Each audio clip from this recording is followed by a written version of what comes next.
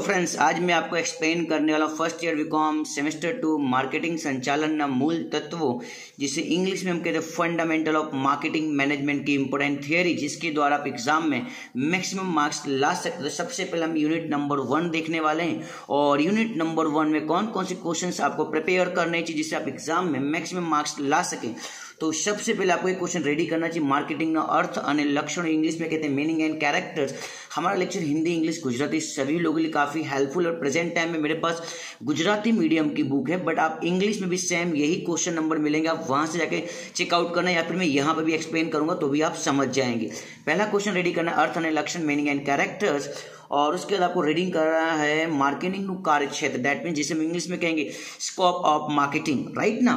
उसके बाद आपको क्वेश्चन नंबर फाइव रेडी करना है मार्केटिंग मिक्स इंग्लिश में भी सेम टू सेम यही लिखा होगा, सिर्फ़ मिक्स की जगह पर मिक्स वर्ड लिखा होगा राइट और उसके बाद इंपोर्टेंस ऑफ़ मार्केटिंग यानी कि मार्केटिंग महत्व very most time P question इसके सामने में हंड्रेड परसेंट लिखता हूँ because of very very most time P question I hope आप समझ गए हमें यूनिट नंबर वन और यूनिट नंबर वन की चैप्टर नंबर वन से कौन कौन से क्वेश्चन रेडी करने चाहिए। चलते यूनिट नंबर वन ही कंटिन्यू रहेगा और उसके अंदर देखते हैं चैप्टर नंबर टू बाज़ार मांग राइट ना? इसमें से आपको कौन से क्वेश्चन रेडी करना है? नंबर वन बाज़ार मांग ने असर करता परिवल राइट ना?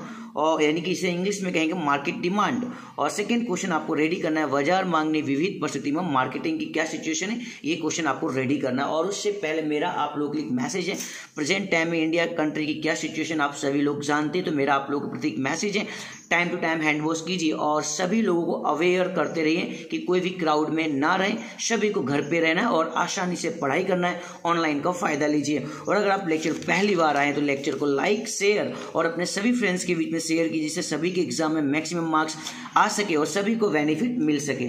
चलते हैं यूनिट नंबर टू के पास। यूनिट नंबर टू में चैप्टर नंबर वन का नाम है ब्रांडिंग ब्रांडिंग में हमें क्या क्या सीखना चाहिए, वो मैं आपको एक्सप्लेन कर देता हूँ। नंबर वन आपको लर्न करना है ब्रांडिंग ना प्रकार यानी कि टाइप्स ऑफ़ ब्रांडिंग और लक्षण भी एक बार रीड कीजिएगा. That means characters it is also very most time P question और उसके बाद आपको रेडी करना है ब्रांडिंग महत्व यानी कि इंपॉर्टेंस ऑफ़ ब्रांडिंग ब्रांडिंग क्या होती है? आई होप आप सभी लोग जानते हैं, जैसे कि हम लोग पार्ले जी खाते हैं ना, पार्ले जी में छोटा बच्चा आता है, पार्ले जी खाते हुए it is one type of branding right जैसे कि ओडी कार के अंदर आपने चार सिंबल देखे होंगे, वो ओडी जो है उसकी ब्रांडिंग करता है। दैट मीन जो चार चार भंगड़ी वाला गाना आपने सुना होगा because it is branding right उसके बाद ब्रांडिंग को महत्व ने मर्यादा that means importance and limitation it is also very most time question unit number two chapter number one चलते यूनिट नंबर टू के चैप्टर नंबर टू के पास कीमत निर्धारण। यहाँ पे आपको कौन से क्वेश्चन रेडी करने चाहिए?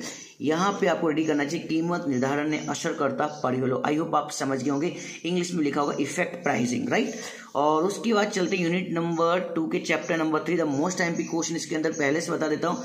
जाहिरात અને प्रसिद्धि बच्चे तफावत very very most time P question advertisement and publicity से हम इंग्लिश में कहेंगे, उसके बाद जाहरात ना फ़ायदा अने गैर फ़ायदा। डेट मीन्स इंग्लिश में लिखा होगा, एडवर्टाइजमेंट्स की इंपॉर्टेंस और डिसएडवांटेज यानी जिसे हम लिमिटेशन भी कह सकते very I M P question महत्व ने फ़ायदा, महत्व लिखाओ, फ़ायदा लिखाओ इंपॉर्टेंस लिखाओ यूजेस लिखाओ, सभी की मीनिंग सेम रहेगी राइट लिमिटेशन लिखाओ और गैर फ़ायदा लिखाओ, या फिर मर्यादा लिखाओ, सभी की मीनिंग सेम रहेगी। आई होप आप समझ रहे हैं हमें कौन कौन से क्वेश्चन रेडी करने चाहिए चैप्टर नंबर थ्री यानी कि जाहरात के अंदर से राइट नेक्स्ट आ चुका है हमारा यूनिट नंबर थ्री उसके अंदर चैप्टर नंबर वन ग्राहक बर्तन।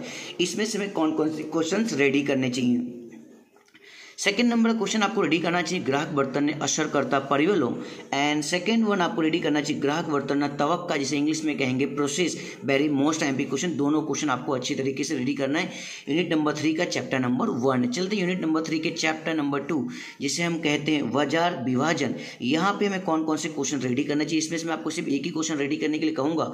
बाज़ार विभाजन में फ़ायदा, यानी कि इंपॉर्टेंस यानी कि इंग्लिश में हम इंपॉर्टेंस भी कहते हैं। इसे हम एडवांटेज लिखा तो भी चलेगा गुजराती में फ़ायदा लिखा और महत्व लिखा दोनों की मीनिंग सेम है। और एक बार इसका आपको अर्थ यानी कि मीनिंग भी अच्छी तरीके से रीड कर लेना आई होप आप समझ गए हैं।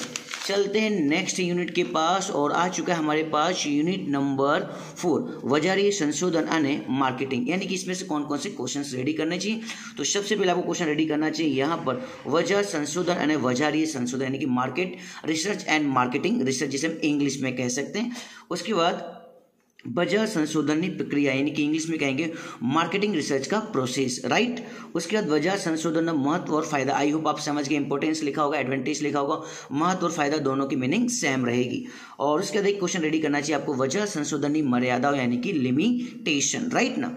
और चलते यहाँ पर यूनिट नंबर फोर का chapter number two very most time question इसमें से भी एक क्वेश्चन मैं आपको रीड करने के लिए दूँगा। मालिक अने क्लाइंट माटे नैतिकता यानी कि इंग्लिश में लिखा होगा एथिक्स लिखा होगा ऑनर लिखा होगा क्लाइंट लिखा होगा मालिक अने क्लाइंट माटे नैतिकता। आई होप आप समझ गए हमें एम एम यानी कि मार्केटिंग मैनेजमेंट में कौन कौन से क्वेश्चन रेडी करने चाहिए, जिससे आप एग्ज़ाम में मैक्सिमम मार्क्स ला सकते हैं। मिलते हैं नेक्स्ट लेक्चर में सभी से। Thank you very much